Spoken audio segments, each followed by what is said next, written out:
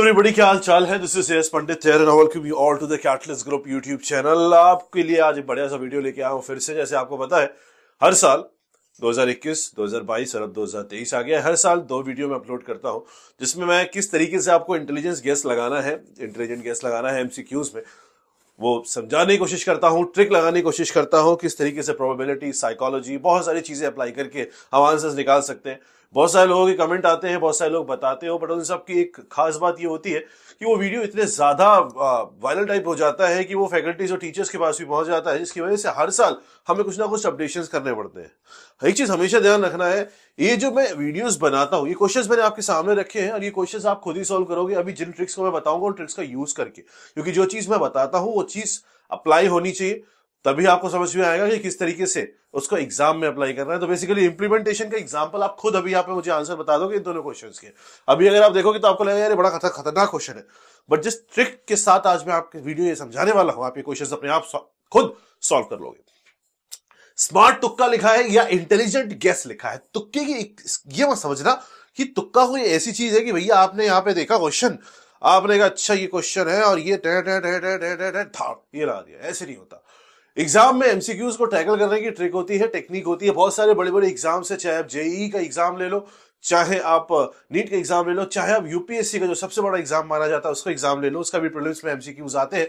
हमें एग्ज़ाम के क्वेश्चन करते टाइम कई बार कई बार नहीं actually sixty seventy percent times अंदाज़ा ही लगाना पड़ता है, जिसमें हमें कंफ्यूजन होता है। तो ये जो ट्रिक्स होती है, इन ट्रिक्स को यूज़ करके आप वो अंदाज़ा अपना परफेक्ट कर सकते हो, अपना आंसर 100 परसेंट श्योरिटी की तरफ़ ले जा सकते हो। इसलिए इन चीज़ को सीखा जाता है। और सीखना बहुत ज़रूरी है। क्यों? क्योंकि स्मार्टनेस बहुत ज़रूरी होती है हर चीज़ के लिए। बात करेंगे आज हम स्मार्ट तुक्के या फिर अपना इंटेलिजेंट गेस के प्रोसेस की। प्रोसेस समझने के लिए चार स्टेप्स हैं और चारों स्टेप्स को आपको बहुत ध्यान से सुनना, समझना और देखना है। एक चीज़ और ध्यान रखना, ये वीडियो क्योंकि स्पेशली एग्ज़ाम को अटेम्प्ट करने के लिए बनाया गया है तो आपको ये क्वेश्चन करने के मतलब ये वीडियो देखने के बाद क्वेश्चन ज़रूर ट्राई करने हैं, जिससे आप ये लगाना, अप्लाई करना सीख जाओ। मैं हमेशा बोला हूँ, जब तक आप अप्लाई करके चीज़ों को सीख ना जाओ, तब तक वो चीज़ आपको एक्सेप्ट करना ही नहीं चाहिए। पहला स्टेप जो है, जब भी आप एग्ज़ाम में पहला राउंड मारते हो, पहला राउंड का मतलब होता है बाहर राउंड नहीं मार रहे हो एग्जामिनेशन सेंटर की बात नहीं कर रहा। आपका क्वेश्चन पेपर जो है, वो क्वेश्चन पेपर में जब आप पहली बार ग्रो थ्रू करते हो तो पहली बार में कभी भी तुक्का नहीं मार रहा है। पहली बार में आपको सबसे पहले वो क्वेश्चंस करने होते हैं जो आपको आते मैंने हमेशा बोला है। सबसे पहले एमसीक्यू के पेपर के अंदर आपको वो क्वेश्चन अटेंड करने जो आपको बहुत इजी लगते हैं और आपको बिना दिमाग लगाए डायरेक्टली करना आता है। तो वो आपका फ़र्स्ट स्टेप होता है। तो फ़र्स्ट राउंड में आपको गैस कभी नहीं लगाना। गैस हमेशा आपको सेकेंड राउंड में लगाना शुरू करना है।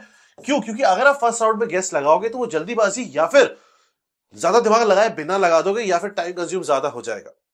क्योंकि यहाँ पे तुक्का एकदम नहीं मार रहा है, सोच के लगाना है। सोचना कैसे वो भी समझा रहा हूँ। ये गलती बहुत लोग करते हैं। जैसे एग्ज़ाम मैंने यूपीएससी बताया ना, यूपीएससी में हम लोगों ने, कैटलिस्ट ने बहुत सिलेक्शन दिए। बहुत सारे सिलेक्शन दिए। ये सिर्फ़ पढ़ाई की बेस में सिलेक्शन नहीं होते। सिलेक्शन में एमसीक्यू वाला जो पेपर है, वो निकालने के लिए ट्रिक्स भी सिखाई जाती है, जिससे आपके क्वेश्चन कम से कम गलत हो।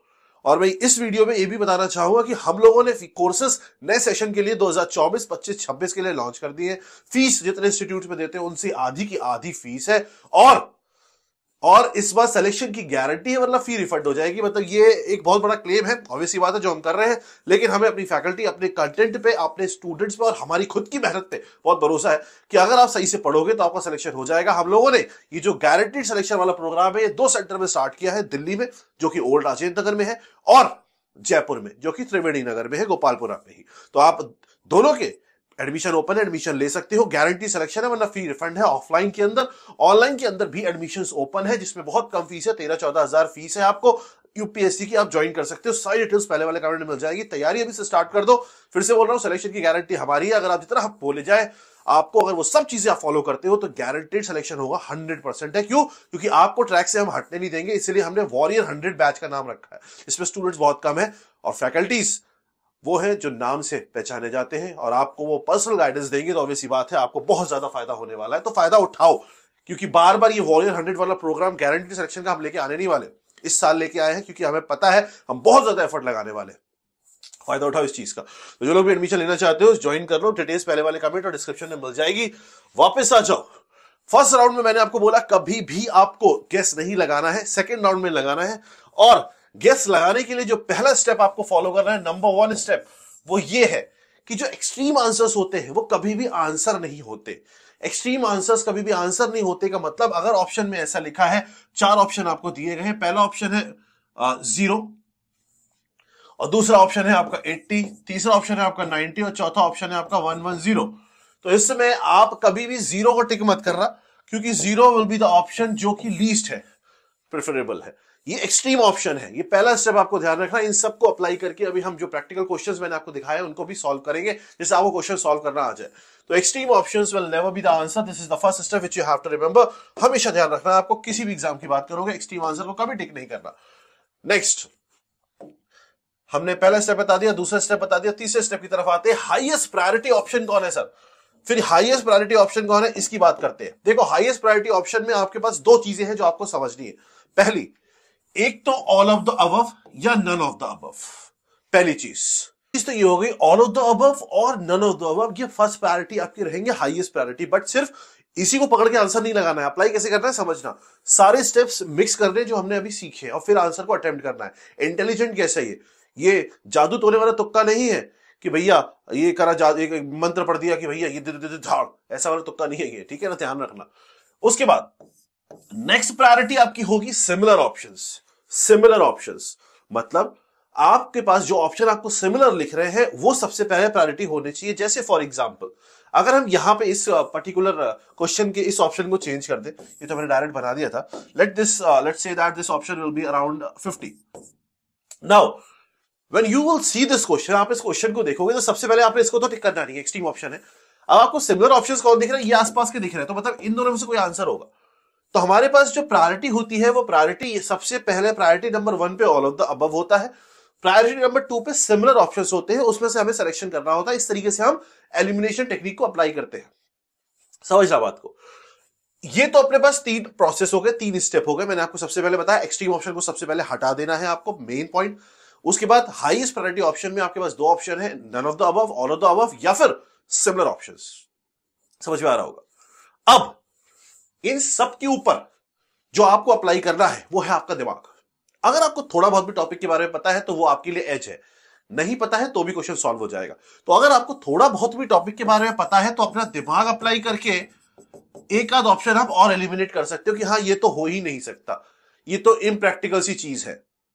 जैसे अगर मान लो कोई क्वेश्चन हिस्ट्री का पूछ लिया जाए और हिस्ट्री के क्वेश्चन में ये आपसे पूछा जाए कि भाई हड़प्पा सिविलाइजेशन की ये जो साइट है, ये साइट किस एरिया में पाई जाती है और उस एरिया का नाम मान लो for example let's say that आपके सामने लिखा हुआ है कोई साउथ इंडियन जगह।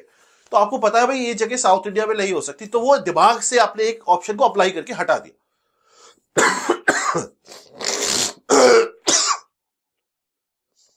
समझ में आ रहा ना? दिमाग से एक ऑप्शन हटा दिया। उसके बाद इन चीज़ों को अप्लाई करो। तो अगर आपको कुछ पता है तो आप दिमाग अप्लाई कर सकते हो।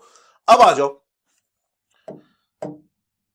इन क्वेश्चंस के ऊपर, इन क्वेश्चंस को ट्राई करेंगे। बिना अप्लाई करें हमें कोई चीज़ समझ में नहीं आती है। लेट्स कंसीडर दीज क्वेश्चंस पहले इसको कंसीडर करते हैं, इस वाले क्वेश्चन को। Seven to the power six ये मतलब नहीं, क्वेश्चन हमारे पास आपने ऑप्शन लिखा हुआ है। We have to check for the options only हमने ऑप्शंस को देखा। अब आपने सबसे पहले देखा एक्सट्रीम ऑप्शन कौन सा लग रहा है इसके अंदर? देखो, ये तीन डिजिट है, ये तीन डिजिट है, ये टू डिजिट है, इसको हटा दिया मैंने। इसको हटा दिया मैंने क्यों क्योंकि एक्सट्रीम है, ये आंसर तो हो नहीं सकता। अब मैंने देखा नीचे आंसर में मेरे पे हाई प्रायोरिटी ऑप्शन कौन सा दिख रहा है, आप बताओ। इसका आंसर होगा डी हाई प्रायोरिटी ऑप्शन बाकी नहीं हो सकता। ठीक है तो ये तुक्का लगाने का तरीका है। इधर आ जाओ। इसमें आप सबसे पहले आपको, आपने क्वेश्चन पढ़ा। अब आपको लग रहा है यार, इसमें मुझे कुछ सिलेक्शन करना है, इसमें मुझे चेक करना है कि भाई इसका आंसर क्या होगा। तो इसमें सबसे पहले आपने एक्सट्रीम ऑप्शन को एलिमिनेट करना है। आपने कहा एक्सट्रीम ऑप्शन मेरा 15 है, इसको मैं एलिमिनेट कर दिया, ये तो आंसर हो नहीं सकता क्योंकि बाकी सब टू डिजिट्स है। अब आ जाओ। अब आपने देखा कि अच्छा आपने देखा अच्छा 28 30 32 इसमें और मैं अप्लाई करूँ, अब आप दिमाग लगा के खुद बताओ। मैंने आपको एक चीज़ बताई थी कि अगर आपको सिमिलर ऑप्शन दिखते हैं तो सिमिलर ऑप्शंस हाई प्रायोरिटी पे रहते हैं। सिमिलर ऑप्शंस हाई प्रायोरिटी पे रहते हैं। आपने कहा, भाई, ये दो ऑप्शन मेरे सिमिलर ऑप्शंस है। अब इन दोनों ऑप्शन में से कौन सा टिक कर रहा है, ये समझ रहा है। मतलब सबसे पहले हमने इसको एलिमिनेट कर दिया। ये आंसर नहीं हो सकता, उसके बाद मैंने इसको भी एलिमिनेट कर दिया, ये भी आंसर नहीं हो सकता। अब इन दोनों में से कोई एक आंसर है। अब अगर आप मेरा पुराना वाला वीडियो देखो तो मैंने आपको उसमें एक चीज़ समझाई थी कि आपका ऑप्शन जो सबसे कंफ्यूजिंग वाली स्टेट पे जब आप आ जाते हो तो आंसर बी होता है। बट वो था 2022 2022 में एग्जामिनर ने जो एग्ज़ाम बनाया, उसमें सारे आंसर्स बदल दिए क्यों? क्योंकि हमारा वीडियो हो गया वायरल बहुत ज़्यादा करोड़ों में व्यूज़ चले गए। उसमें बी ऑप्शन को बेचारे को बेचती हो गई उसकी बी ऑप्शन की भाई हर आंसर बी ऑप्शन होता है। तो एग्जामिनर ने चेंज कर दिया। तो इसलिए 2023 से अब आपको टिक करना है A option. Whenever you will be confuse between ये हमारा चौथा स्टेप है A and B you will go with A whenever you will be confuse with A and C A and B A and C A and D the answer will always be A you'll go with A for this year onwards इस साल के लिए। फिर next जैसे ये छह महीने निकल जाएँगे, एक और वीडियो डालूँगा। ऐसे क्वेश्चंस और प्रैक्टिस करा दूँगा और तुक्के वाली टेक्निक अपलोड कर दूँगा और इंटेलिजेंट गेस कैसे अप्लाई करना अपलोड कर दूँगा। अगर आपको समझना है और ट्रिक सीखनी है या आपको एग्ज़ाम लिखने वाले एग्ज़ाम्स की भी बात कर रही है तो ज़रूर कमेंट सेक्शन में बताना। बाकी एडमिशन ओपन है। गारंटेड बैच है। बहुत कम फ़ीस है। आप एडमिशन ले सकते हो। ऑफलाइन में भी ऑनलाइन में भी और आपका जो डिस्क्रिप्शन है, उसमें सारी डिटेल्स मिल जाएँगी। या फिर फ़र्स्ट कमेंट में। खुश रहो, मस्त रहो। दिमाग लगाते रहो। दिमाग लगाना बहुत ज़रूरी है। इस लाइफ में जो दिमाग लगा रहा है वो आगे जा रहा है और जो दिमाग नहीं लगा रहा है, वो जहाँ बैठा है, उससे भी पीछे हो जा रहा है, क्योंकि बाकी लोग आगे जा रहे हैं। बेटर टू अप्लाई दिस ये ब्रेन ये दिमाग लगाना बहुत ज़रूरी है। बाकी पेरेंट्स की रिस्पेक्ट करते रहो, क्योंकि उसके बिना वैसे भी कुछ नहीं हो सकता।